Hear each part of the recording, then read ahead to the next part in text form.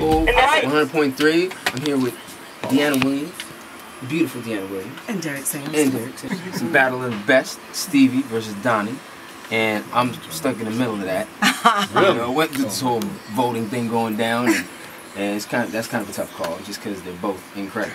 But uh, yeah, we just having fun. It's just a typical Sunday, another day in paradise. He's an adopted Philadelphian at this point. He's been here so many years on and off, but this is his American base, and we're thrilled to have him here at Old School 143. Mm-hmm. Yeah. Mm. we're impressed, Derrick, are we not? Because until 3 o'clock this morning, a.m., Glenn was shooting his new video. Oh, it was man, it was amazing. You know, we started uh, call time at ten o'clock in the morning, wrapped at three in the morning.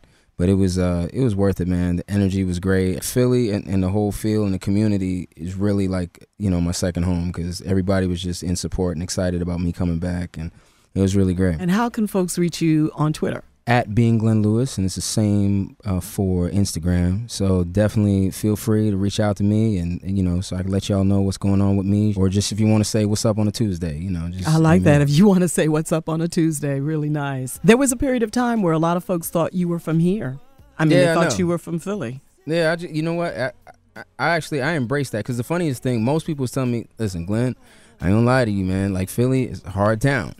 They either love you or they don't, and they have no problem letting you know. And True. I was like, oh, okay. And you know, shows I've done, or if I'm just out on the street, just strolling or doing whatever it is I do, people come out in droves and support, and people I run into, they like, oh, they go to ball, okay, yo, love the music, man, da da da. I'm like, oh, that's what's up. So I always get love out here. I love it. Ah, uh, drum roll. You know what that means. All right, Glenn, you have the honor, since this is your battle, of announcing the winner today. And coincidentally, the title of my album is called Moment of Truth, and that's what this would be. Coming out in August, by the way, so look out for that. Uh, the Moment of Truth, Stevie Wonder. Shocking. Shocking. And here's the winning song selected by Glenn Lewis, our special guest. Can you stay with us a little longer? I would love to. Can you stay a little Absolutely. longer? Is that okay, guys? Yes. Guys, okay. Here's Steveland Morris.